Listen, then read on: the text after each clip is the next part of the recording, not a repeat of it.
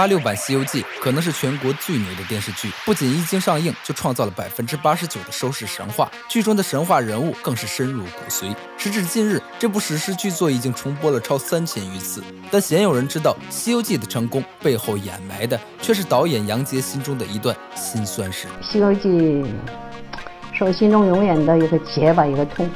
十年我没看过它，播出以后。一九七八年，日本按照他们的理解拍出了世界上第一部《西游记》，仅仅播出一集就引起全国民众集体声讨。唐僧是个女人，哭着喊着要嫁给妖怪；孙悟空神通广大，但一棒子能凿穿地球，看着就离谱。弟弟喷出的石油更是飞到了天庭。央妈得知情况后大为震怒，于是把《西游记》搬上大荧幕，就这样被提上了日程。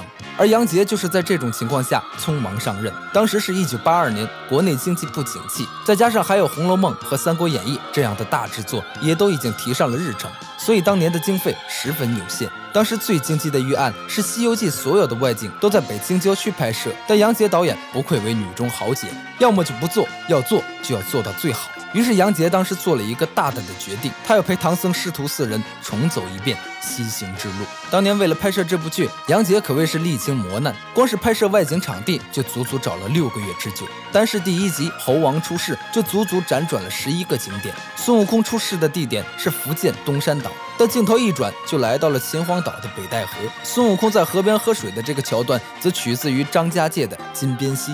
而水帘洞的外景是黄果树大瀑布，可内景却又变成了湖南的波月洞。光是一集，剧组就跑了小半个中国，观众足不出户就将祖国的大好河山尽收眼底。而这背后，则是剧组长年累月的跋山涉水。当时国内许多旅游景点还没有被完全开发，山路崎岖，异常凶险，以至于取景过程中主创人员多次遇险。杨洁导演有一次甚至差点从山上跌入悬崖，而师徒四人的经历也是异常危险。当时由于技术的封锁。我们的威亚技术并不成熟，再加上经费的问题，常常威亚的绳子已经磨得很细，而剧组却不得不冒险继续使用，以至于有一次在拍摄齐天大圣去天庭的戏份时，直接导致六小龄童从四五米的高空摔了下来。地上腾起一层灰，万幸当时饰演大马猴的向汉下意识的伸手接了一下，这才没有酿成大祸。而当时的软硬件设备也是与今天不可同日而语。在拍摄三打白骨精时，孙悟空被念紧箍咒的镜头，由于特效技术的落后，剧组为了从主观镜头表现出晕眩的效果，拍摄时摄影师就被人扛在梯子上，硬是转着拍摄完了这场戏。整个镜头拍下来，孙悟空晕没晕不知道，但摄影师午餐吃的什么，所有人那是一清二楚。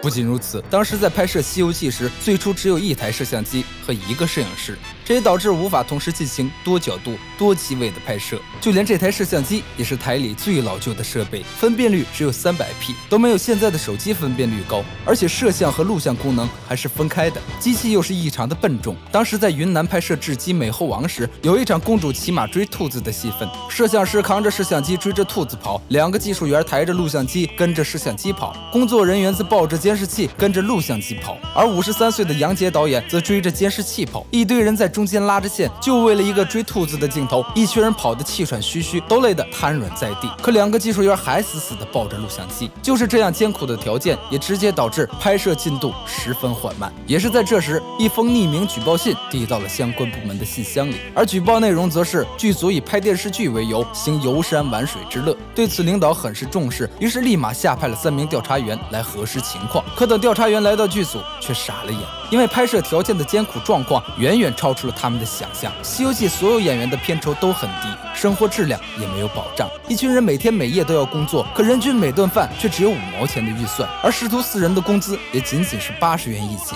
在广东拍摄时，因为当地物价很高，他们只能吃得起两块五一份的饺子，一份只有六个。于是，三名调查员最终被剧组不畏艰辛的精神所感染，硬是给剧组打了半个月的长工，才姗姗离去。可是，一九八六年，由于一些特殊原因，台里不再给《西游记》项目拨款，辛苦四年的结果，眼看就要付之东流。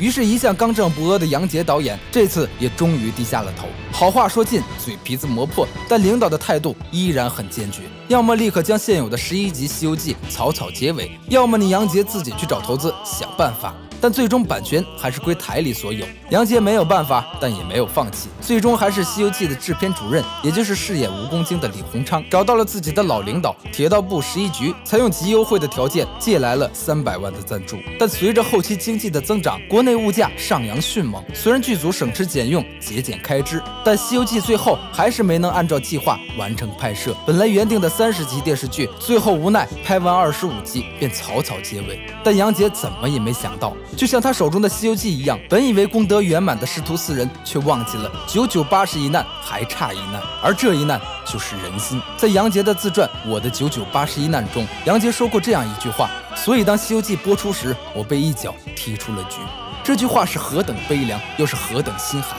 而说起这一切的起因，其实都跟剧中的师徒四人有关。师徒四人与杨洁不和的传闻由来已久，而这次的事件更是成为了整件事的导火索。当时《西游记》播出后，在全世界引起巨大反响。彼时新加坡对《西游记》也颇为关注，于是便请西游剧组前去商演。所有人都做好了准备，可彼时名气大振的六小龄童马德华和严怀礼三人却请了病假或事假，不曾到场。后来有人告诉杨洁说，师徒四人在山东商演，而杨洁根本不相信，因为迟重瑞就在剧组。可一看海报，果真是师徒四人，只不过唐僧是之前的演员徐少华。但哥仨回来之后，杨洁就这件事批评了几人。可结果就是齐天大圣上报给领导，并扬言只要有杨洁的商演，几人一律不去。至此，整个西游剧组最终成为了三人控制的天下，而杨洁则被一脚踢出了局。说来唏嘘，当年条件如此艰苦，尚能团结一心，如今条件好了，怎么心反而散了呢？其实说到底，这也和杨洁自身的性格有关。杨洁导演出生于军人家庭，他的父亲是革命烈士杨伯凯。杨洁一生历经生死离别，饱受战争和贫苦，这也导致他的性格过于耿直，遇事容易激动，更是因此得罪了不少人。当时也只有演唱《敢问路在何方》的蒋大为选择了支持他。当年呢，《西游记》剧组要去新加坡演出，请我去，当时我就问了，我说都谁去？他跟我说了一下情况，说师徒四个人去，杨导不去。我说为什么杨导不去？呃，他说因为他们之间好像有点矛盾，哎，他们不想让杨导去。我师徒四人这么做是不应该，矛盾有正常，没有矛盾反而不正常。但是我说你们不能那么不义气，没有杨洁导演，哪有你们师徒四个人今天？哎，你们不带杨洁去，我也不去。而杨洁也是一个大度的人，直到多年后，杨洁决定拍摄《西游记》续集，师徒几人才跑来给杨洁导演赔礼道歉。最终，他还是选择了原谅。而随着杨洁导演的离世，《西游记》背后的纷纷扰扰才渐渐褪去，幕后的真伪早已不可考证。但大海相信，公道自在人心。一声凄叹，难掩心中悲怆；一句原谅，看破世间沧桑。杨洁导演千古。